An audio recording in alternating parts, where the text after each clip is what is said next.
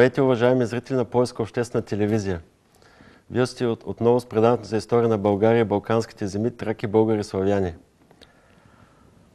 А, днес темата на нашето предаване е къде е било светилището на Дионис или къде се е намирало светилището на Дионис. А, това в известен смисъл е продължение на темата за, за траките, за тракийските племена, дори за темата за тракийската писменост, изобщо теми, по които говорихме през последните няколко предавания. Така малко обобщаващи думи първо, понеже кой, кой е Бог Дионис, къде е най-вероятно неговото светилище, кои са тези, които са служили в това светилище. От античните извори от вековете преди новата ера и малко след новата ера, е известно, че бесите, едно от тракийските племена, са били жреци в почутото светилище на Дионис, което, в което са се случили няколко важни пророкувания, които, нали, така да се каже, разнасят славата му до ден днешен това светилище най-вероятно е било някъде в днешните български земи, затова и пряко не интересува нас, нали, тук българите, като живеещи по тези земи. А, може би най-прочутото светилище в древността е било това в Делфи, под Атина, в днешна Гърция, до планината Парнас. Това светилище наистина е така световно известно. Там са в древни времена са се случили много нали, пророчества, много царе от съседните земи, владетели са ходили там да питат, да задават своите въпроси. Имало една жрица, жрица наречена Пития, която отговаряла на тези въпроси, често с така някакви загадъчни отговори, които не са отговаряли пряко на поставения въпрос, но след известно време се е разбирал точно какво има тя предвид, нали, какви са нейните точни думи, как трябва да се тълкуват. Та, това най-известно светилище в древността при Делфи. То е било посветено на Бог Аполон. А най-вероятно в нашите земи се намира това другото известно светилище на Бог Дионис, което, както казахме в това предаване, ще се опитаме да разберем къде точно се е намирало така да обърнем внимание на изворите. Първо, какво казват за това светилище, къде ни насочват. Ето сведението на Херодот, нали, бащата на историята, така наречен, 5 век преди новата ера, описвал войната на, на персите с гърците и много други събития от древния свят – Та той казва така на едно място, сатрите, доколкото ни е известно, още не са били покорени от никого. Това е едно от тракийските племена. Само те от траките са запазили свободата си до ден днешен, понеже живеят по високи планини, покрити с разнообразни гори и сняг. И са воинствени. Те владеят порицалището на Дионис, където се намира, което се намира на най-високата планина – като порицатели на светилището служат бесите, едно племе от сатрите. Има жрица, която дава отговорите, както е в Делфи. Друго нещо особено тук няма. Това е едно от така, основните сведения за това светилище на, на Херодот. И така той горе-долу локализира място на светилището в земите на сатрите и и бесите били служили в светилището. Така, земите на сатрите горе-долу се, намир, се намирали по а, долното течение на река Струма, долното и средното течение на река Струма. А, някъде под Биласица, под планите Пирин, над планината Пангей, която е в Гърция.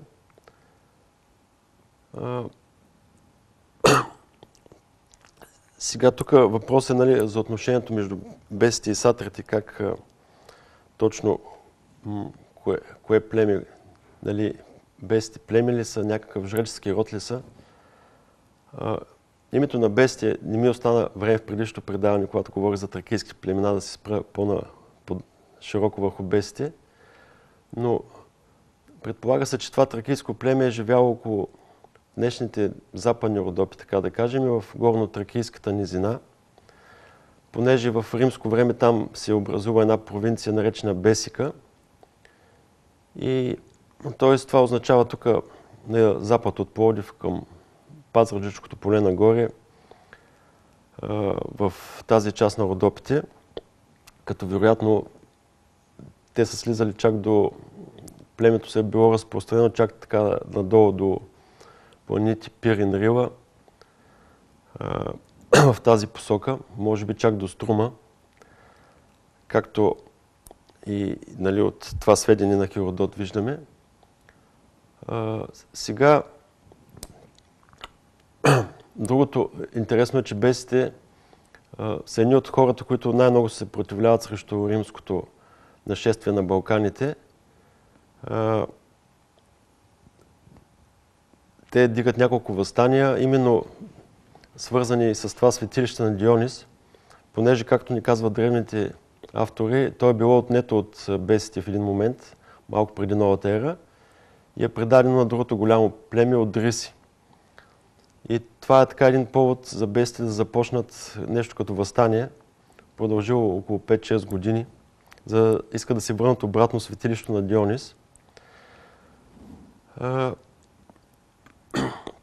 Името на бести става толкова известно, че в един момент в вековете след новата ера то започва дори да замества името на траките. Нали? Когато римляните казват, говорят за бесите, те имат предвид траките като цяло.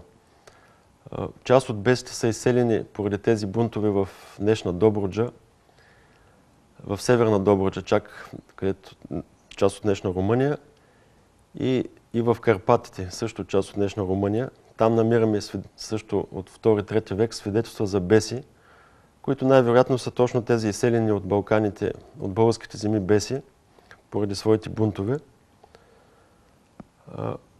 Също така имаме предположение, за, че част от Библията е преведена на тракийски язик. И този, именно този тракийски превод е наречен Библия Бесика, отново по името на бесите.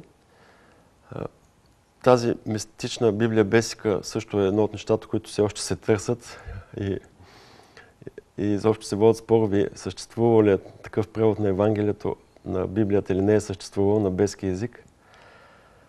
А, но имаме няколко така под, податки, че и съществували манастири на бесите, т.е. на траките в Константинопол, дори чак в днешните земи на Израел и на Йордания, около река Йордан. Също се споменава за три манастира. Единия, разбира се, е бил гръцки, се е служил на гръцки, втория бил арменски и третия се е служил на езика на бесите, което вероятно става въпрос за траките. Този въпрос, за съжаление, не е добре поручен от българските учени. Все пак това са неща, които могат да се поручат на място. Съществува ли е такъв манастир в Близки изток, да се видят някакви остатъци от него, книги, нещо. Но това е предмет на друг разговор. Та, така, бести, порицатели на светилище на Дионис. Всъщност самата дума беси може би е свързана с старославянската дума бяс – Тоест, не се знае дали тази дума старославянската не произлиза от тракийската или обратно. Бяс, беси, защото това са така, са били известни с тяхните ритуали. Ритуалите има предвид за Бог Дионис, които са били свързани с виното, с шествия, с а, така танци. Изобщо едни такива по неприлични и бесни, да кажем, изяви. И може би от там и самата дума беси, свързана с точно с думата бяс, бисове. Ето така стигаме до Бог Дионис, на който е било посветено светилището. Така едно изображение на Бог Дионис от антична ваза. Това е най-общо казано Бога на виното, както ние го знаем. Римляните са го наричали Бак или Бакхус. Оттам и така наречените бакханали или вахханали, както ние ги знаем. Това са точно тези Дионисови шествия, свързани с, с виното, с музика, с сатири, разни дори оргии, така да кажем, нали, да ги наречем. Та, това е нали, най-общо за Бог Дионис. Такива са били представите за него. И, и нищо чудно, нали, както казах, оттам тези, които са му служили да са наречени беси, бясни, този ред на мисли. Ето още едно изображение на Бог Дионис, седно върху пантера. Това е от днешна Македония, всъщност от град Пела, който в Древна Македония, днес е в Гърция, си намира.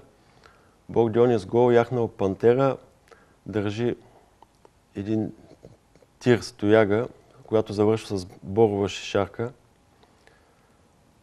Това е един от неговите атрибути, тази тояга с борова шишарка, която се е носил по време на шествията и са се пеели така някои неприлични песни във връзка с, с нея и с изобщо.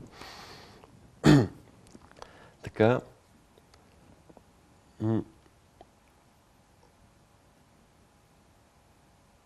Тук на други изображения на Дионис, да, да се върнем към това пак. Лозята, лозата винаги присъства на негово изображение, гроздето като плод, виното, ето тук един кратер, една точно отново кожа от пантера виждаме вързана около раменете на Бога. Това са атрибутите на Дионис. Лозя, тирс, пантерова кожа, грозди и така. Втори ред.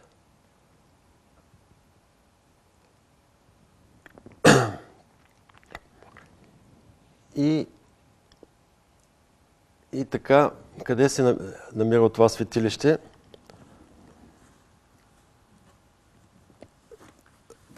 То става известно с, с някои велики хора, които са ходили там да търсят съвети и предсказания от намиращата се жрица.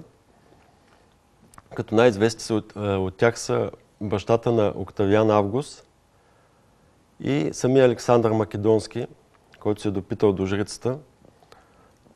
Ето какво ни казва един римски писател от началото на първи век, на първи-втори век от новата ера, Светони.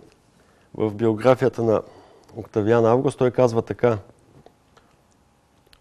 когато Октавиан, бащата на Август, водил войската си някъде из отдалечените части на свещената планина на Дионис, се допитал до, орак... до оракула на Бога за сина си. Било му потвърдено от жреците, че синът му ще стане господар на целия свят. Това се отнася за Октавиан Август. Понеже след като виното се разляло върху алтара, димът се е издигнал нагоре над върха на светилището, чак до небето знамение като това, което получил и самия Александър Велики, когато принасял жертва на същия този алтар. И ето това кратко сведение ни казва доста неща за светилището. Първо, че нали, там е било предсказана славата на Октавиан Август. Действително това е императора, който, при който Рим достига най-голямата си мощ, нали, той се води всъщност първия римски император. Ето една негова така грандиозна статуя от самия Рим. Октавиан Август, който наследява Цезар, Гай Юли Цезар и управлява точно в времето преди и след новата ера. По него време, нали, така да кажем, се ражда Христос в земите на Близкия изток, но цялото Средиземноморие по това време е част от Римската империя, от огромната Римска империя.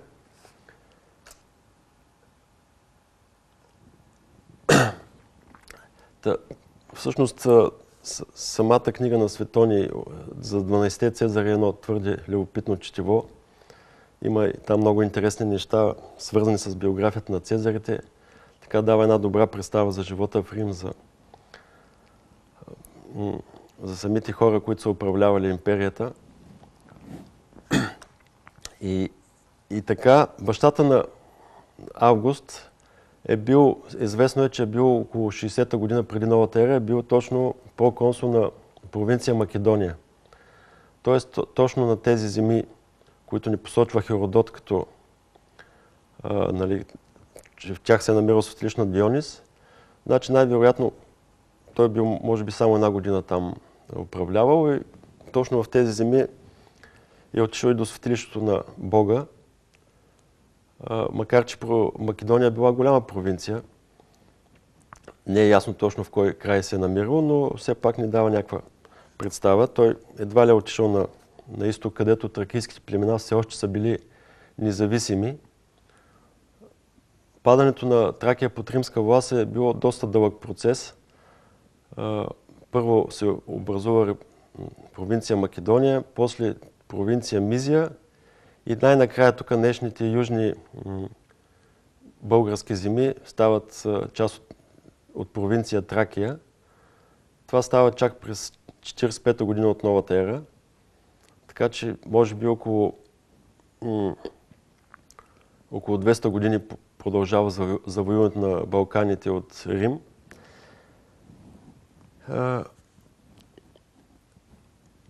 И така, Ето го и Александър Македонски от изображение от една монета. Типично негово изображение с едни така кози или овчи, овчи рога, изобразен.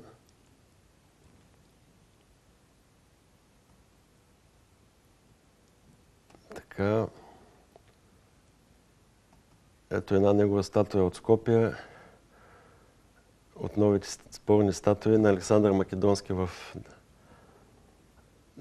днешна Македония, представен на кон с дигнат меч.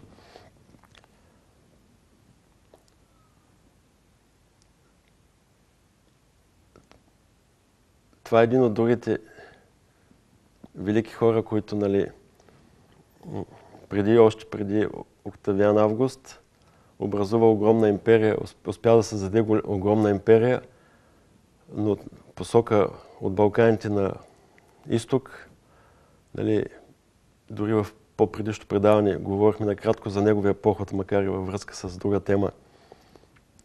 Той завладява цяла Мала Азия, стига чак до Индия –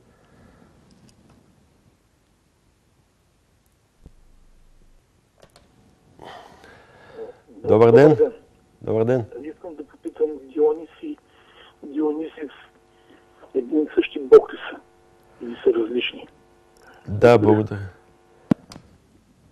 Да, извинявам се, може би трябваше да направя повече уточнения. Дионис, Дионис е един и същи бог. Римляните, както казах, са го наричали Бак или Бакхус. Също и по тези земи е известен като Бакхус. Дори има предположение, че собствено думата Бог, нали, славянска дума Бог, Биг, Бак, Бог, нали, е, също идва от думата Бакхус или тези думи са свързани. Тоест, нали, Дионис, тире Бак е един и същи Бог или Дионисус. Сега спори се, нали, гръцки ли е Бог, тракийски ли е, малазийски ли е, но най-вероятно е тракийски бог, понеже тук нали, тази тясна връзка с виното, виното е култивирано в днешна Тракия, в днешните балкански земи. В най-древни времена от тук тръгва нали, неговото разпространение за, по целия свят, може да се каже. Да, това ми напомня в тази връзка. У античните автори е едно сведение, че бог Дионис, нали, въпросният Дионис, който тогава е бил жив човек, герой в хилядолетията преди новата ера, тръгва на поход от днешните балкански земи, преминава, прекусява Босфора или Дърданелите, прекусява цяла Мала Азия и той като и стига чак до Индия. И там занася точно тази култура на виното, на лозята, на някои други нали, достижения на тогавашната цивилизация. И въпросът е кога се е състоял този поход, дали е бил примерно през 2000 години преди новата ера или 4000 години преди новата ера, понеже най-вероятно този поход отразява някакво историческо събитие и действително е съществувало такова преселване на групи население в посока Иран, Индия и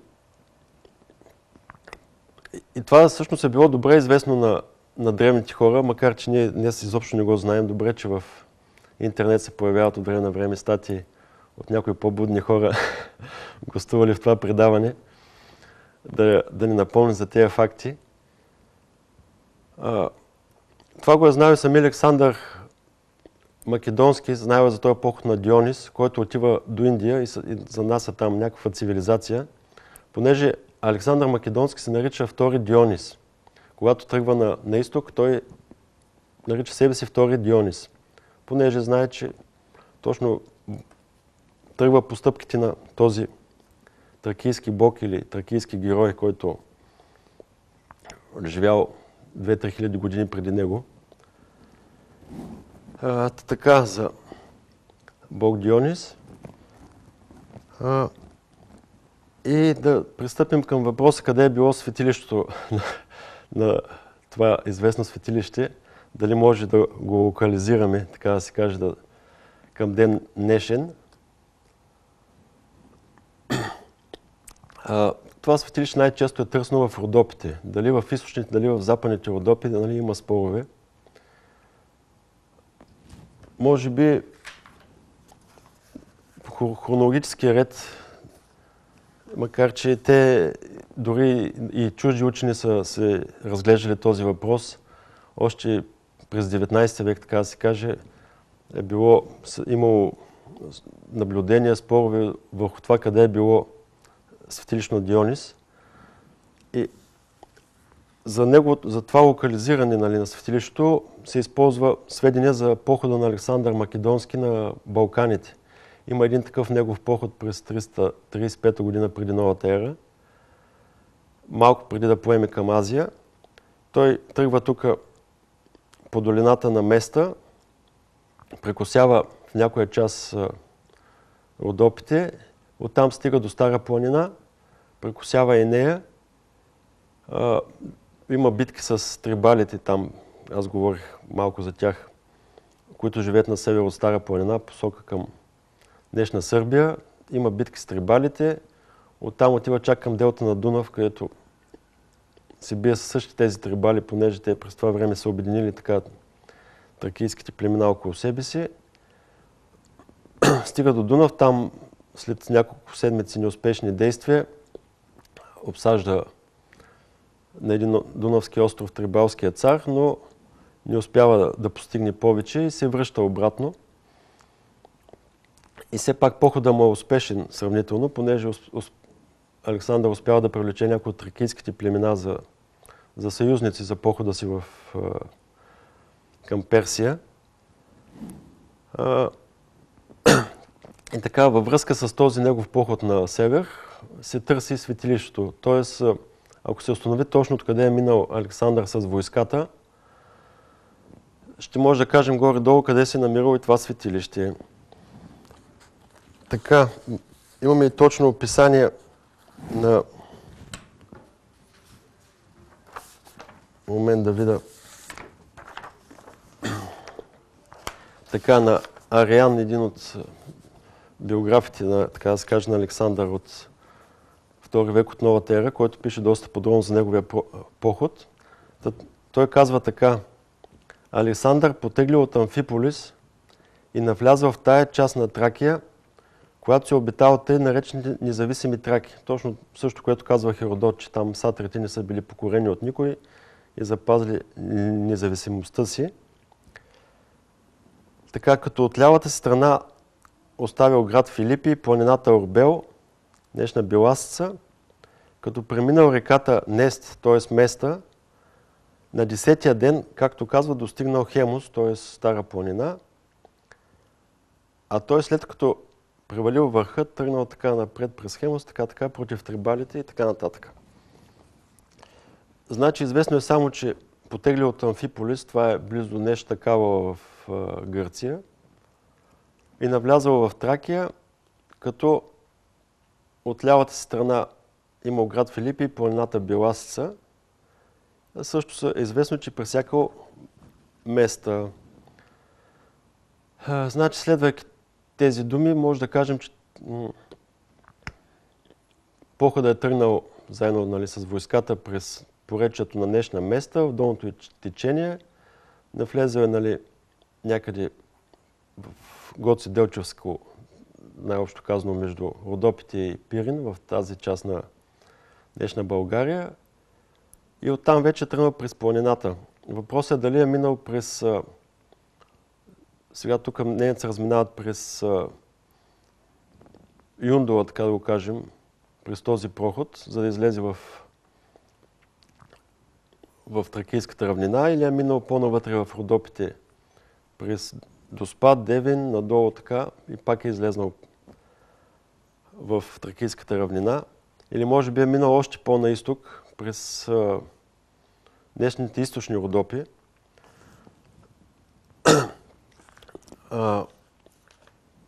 Едно от така по-сериозните предположения за слична Дионис е на Никола Боев, нали, изследовател от Асеновград, който написал около 5-6 книжки за Белинтаж, тук в Родопите. Едно скално старо светилище на 50 км от Плодив. Ето малко снимки от Белинтаж. Той е човек, който всъщност популяризира самия Белинтаж последните 15 години и стана толкова популярна дестинация. Това е така в един зимен ден. Вижда се един така очертан релеф, профил Самия Боев го нарече стража, пазителя на светилището. Тази картина се вижда при постъпа ни към Белинтаж. Всеки го вижда това нещо, понеже само оттам е, може да се мини към, към тази интересна скала, на която е разположен нали, самото място Белинтаж.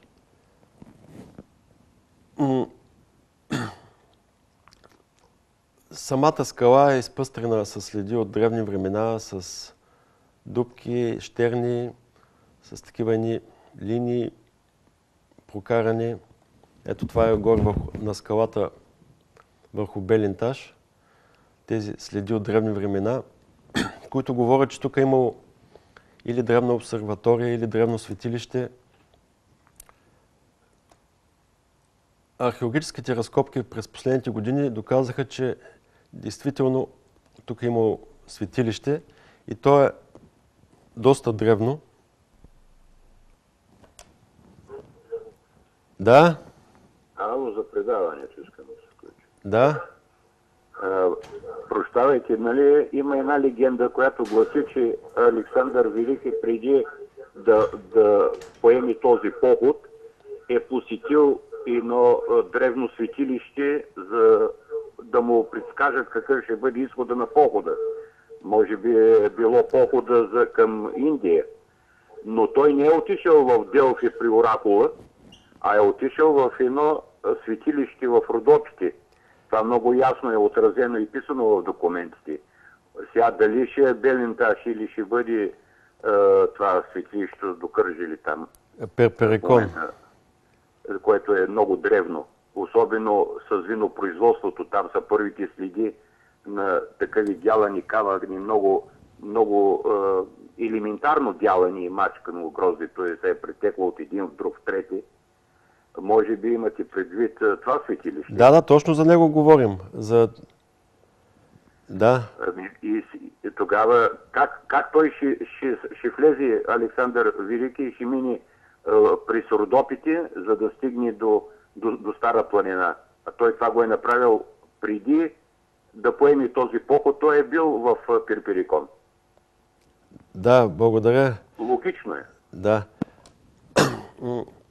Благодаря много за така уместното включване, съвсем по темата. Точно за това светилище говорим, на Дионис къде е било. И, и сега започнах да изброявам различните хипотези, но започнах от, от Белинташ, нали, с, на, така, на Никола Боев, който смята, че може би там е било светилище на Дионис.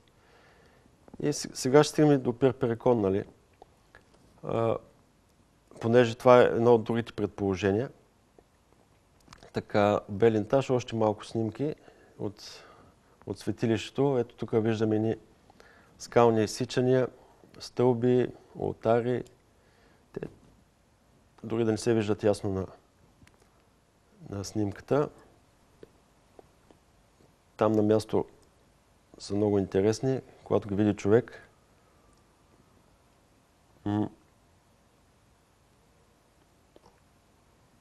Ето една, да кажем, как да наречем, малка дупка щерна, пълна с вода. Предполага се, че на такива места е било изливано виното, което нали, е пламвало, нали, както се казва в това сведение, което ви прочетах. Когато виното се разлява върху алтара, димът се е издигнал нагоре над върха на светилището, чак до небето. И на тая основа Никола Боев предполага, че тук е било това светилище на Дионис, Беленташ, нали? Това е търсното място. Сега другото предположение за Перперекон, където нали, Николай Овчаров копае и всеки дърпа чергата към обекта, който той поручва общо взето. Там също, нали, както каза нашия зрител, са намерени стари отари, преси за вино, шарапани и единствено въпрос е наистина дали Александър е минал от през източни- източните Родопи, когато е вървял към Стара планина, или е минал през западните Родопи.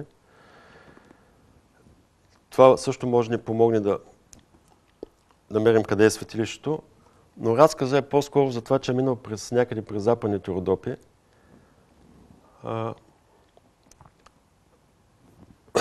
Другите сведения, че, нали, както казах, това светилище е владяно от бесите и по време на римското завою... за... завоюване на тези земи е пре- предадено на одрисите, понеже те са водили така една по проримска, нали, по-приятелска с Рим политика и за тя, за, им е било предадено това светилище. Но, както казах, нали, бесите се разбунтуват. А, понеже най-вероятно самото светилище, нали, така известно, е било свързано с а, някакъв по-голям областен град, център. А, имало е дарове, които са постъпвали в светилището. Нали. Става въпрос за, за материални изгоди, освен за всичко останало. И затова е била тази борба, кой ще владее прорицалището, светилището на Дионис. В така Перперикон, да, нямам снимки, но той също стана известен през последните години, така доста популярен. Посещава се от много хора. Но да продължим с другите предположения. Както повечето хора го, нали, и учени го търсят в Родопите това светилище, немалко учени казват, че то се намира в Стара планина. В Стара планина, понеже от едно друго сведение, в едно друго сведение е казано следното.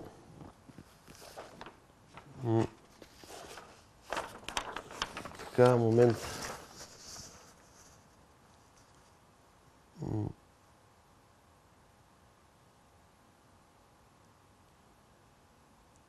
Така, така, така. Да. това е сведение още от 5 век преди новата ера, е на Еврепит, който казва, физикът Хераклит съобщава, че действително има, имало таблички на Орфей, като пише така. Това светилище на Дионис е построено в Тракия на те наречения Хемос, т.е. Стара планина, където казва, че имало някакви писания на Орфей върху дъщици. Тоест, тук също се споменава светилище на Дионис, което обаче категорично е посочено в Хемос, т.е. в Стара планина. Сега тук има още няколко така уточнения трябва да се направят. В миналото, когато автор се казва Хемос, някой път са имали предвид не само Стара планина, но и Рила, дори Родопите, така малко са бъркали понятията. т.е. със сигурност, когато казват Хемос, може да означава и едновременно и Рила и, и, и Стара планина.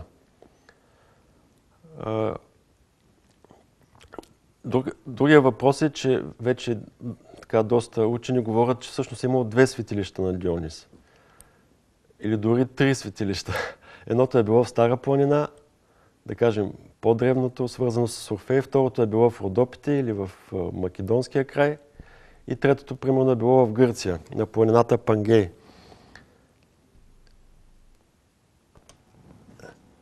Да, добър ден. Ало, извините, че пак се намесвам. Да, но по исторически данни, нито в Стара планина, нито в Рила и така нататък няма тези метални хълки, където са намерени на голяма височина. Следователно, по историческо време, ако погледнем, тук се говори много по-ранен е, период, когато е било е, голямото море, което е заливало чак до бреговете на, на, е, на. Така че много по-реално е да бъде в Родопите.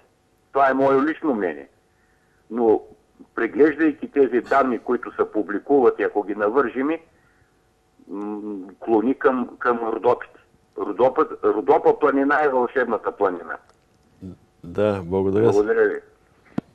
Да, със сигурност. Е вълшебна, свещена. Ето тук свещения лес, свещената, как се казваше, на бесите. А, да, в... Затова и се търси основно в Родопите, въпреки че има сведения и за Стара планина, и за Рила, да кажем. Едно от последните пък поручвания на Диана Гергова, известна археоложка, която занимава с тракийската епоха, пък на връх Острец над Велинград, там също излезе много голямо светилище и, и може да се прочитат заглавия във вестниците. Ето връх Острец, новия кандидат за светилище на Дионис и така нататък.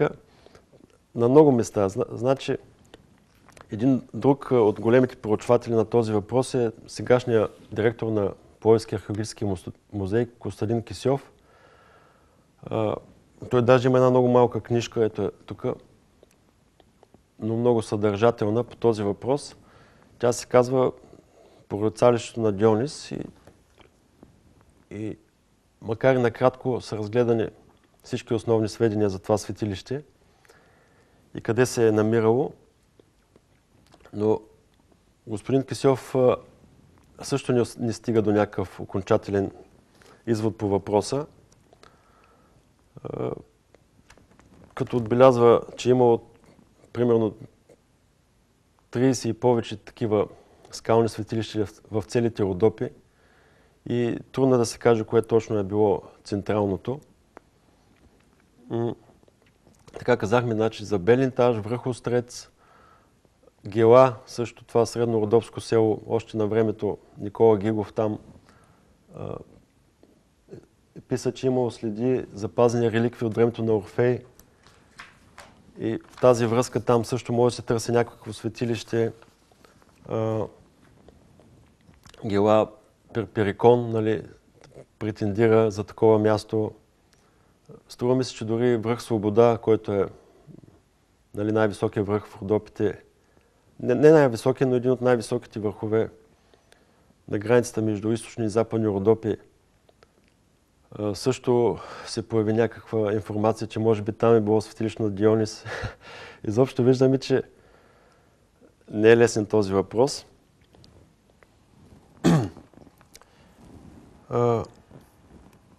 И,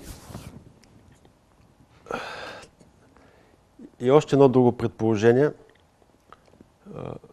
Венцислав Бачваров, мога да го простя, аз няколко пъти съм го споменал в това предаване,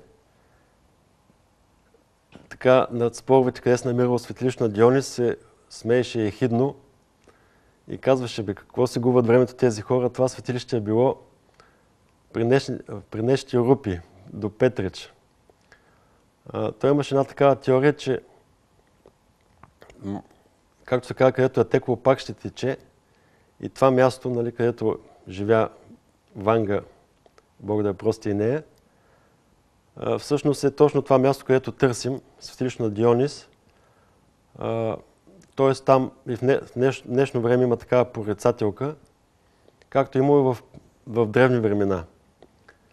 Дали, това е една много интересна хипотеза, която почти не се споделя, не се среща сред учените, понеже те нали, бягат в друга посока. А, но още по-интересно е, че, се, че е напълно възможно това да е така. Дори се появиха и нови доказателства в тази посока. А, и, разбира се, не само Венцислав Бачваров, има и други хора, които са предполагали, че е възможна връзка между рупите, нали, тази местност и, и древното светилище на Дионис, където се е пророкувало.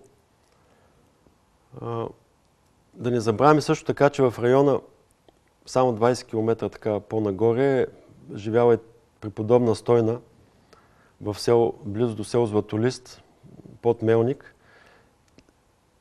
Тя напоследък излезаха много данни, че за, нейната, така, за нейните предсказания, че е била доста велика, известна предсказателка, която е, дори може би е надминала нали, баба Ванга.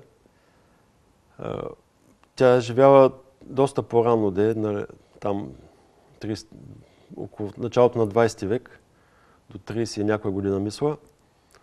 Та ето в този район на една малка площ имаме ден днешен, де, както се казва, две известни, световно известни прорицателки.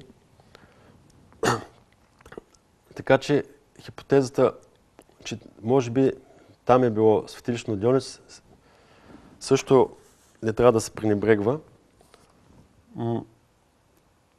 Още повече, че последно време, точно в Рупите, до тях откриха един древен град, Хераклея Синтика.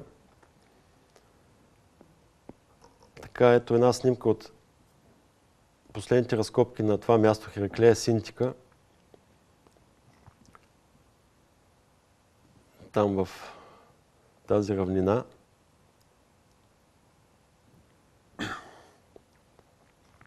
Доста сериозни запазени градежи.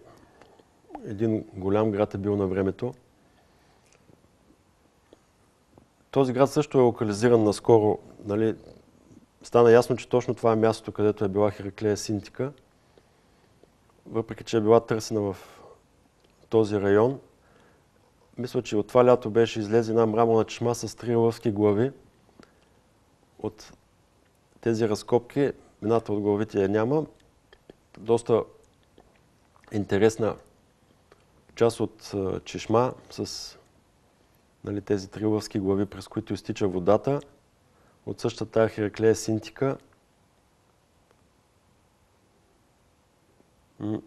Излезаха и фигурки на самия бог Дионис нали, от римско време. Разбира се, маски на сатири. Оказва се, че вероятно имало ателия, където са правили ето една така глинена маска на сатир с пътниците на бог Дионис. Тази маска от тази въпросата Хераклея, Синтика.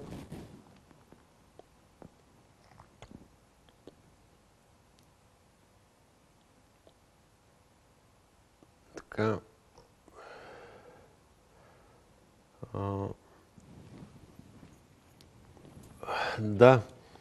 И в същото време съседните, съседните гърци също не, не спът. Те а, са обявили вече на някои места, че се намира светлично на Дионис.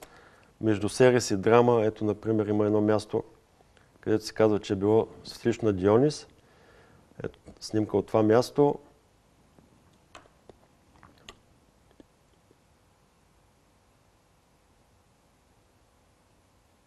Но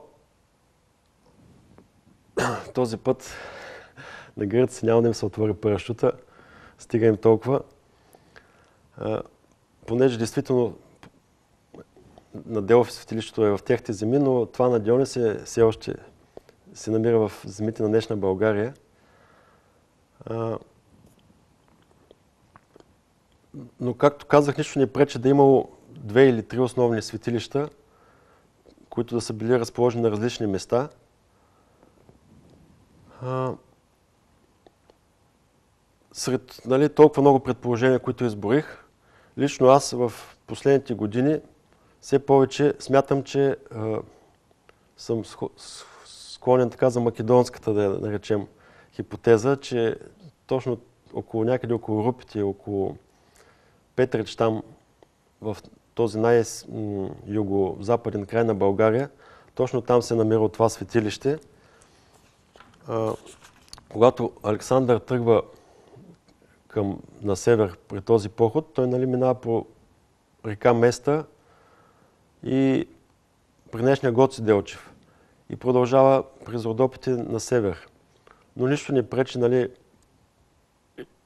за един ден с няколко от най-верните си хора да прескочи от друга страна на планината, да премине Пирин през днешния проход Папас Чаир, да е преминал, да е отишъл до светилището, там са му пророкували, после се е върнал и това всичко може да стане спокойно в рамките на един ден и е продължил похода си към, срещу трибалите. И така че, нали, след тази приказка за, с 3 или 4 края, стана малко като приказка на Джани Родари. И края, нали, неговите приказки завършват с няколко края и той казва на... Ето, ето сега края, който избира автора. Та в този случай края, който избирам аз на тази загадка е именно последния, който казах с, с днешните рупи. Като мисля, че следващите последващи разкопки на тази Хераклея Синтика, древния град, който се намира наблизо, ще донесат нови доказателства в тази посока. Ами, това беше накратко по тази тема, въпреки че може да говорим за още много-много неща и за Бести, и за Дионис, и за похода на Александър, и за светилището изобщо. Но накратко така се опитах да изложа основните хипотези. И така, ами това беше за, за тази седмица. Предполагам, че ви беше интересно. Лично на мен наистина ми беше интересно да поручвам този въпрос, въпреки че нали, той така, главата ми от години чита въпроси, материали по този въпрос. И така, това беше всичко. Довиждане до следващата седмица.